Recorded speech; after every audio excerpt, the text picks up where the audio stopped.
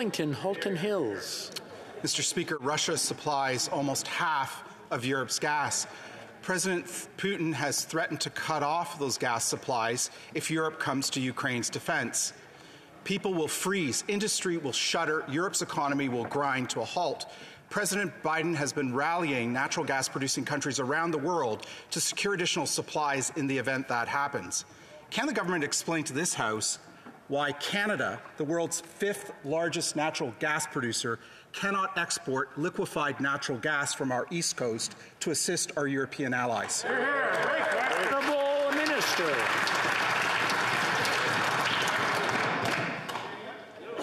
Mr. Speaker,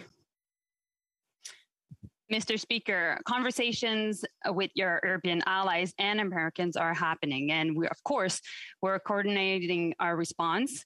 And we know that any further invasion by Russia of Ukraine will make sure that there is, is met with severe sanctions. And we will always find a way to help our allies.